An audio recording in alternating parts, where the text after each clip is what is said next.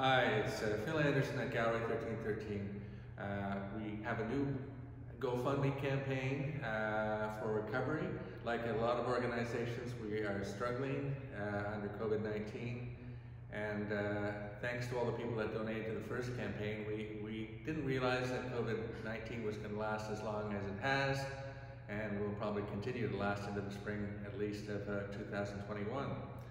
But uh, we hope to continue to bring you uh, some arts programming with exhibitions in the gallery and online exhibitions.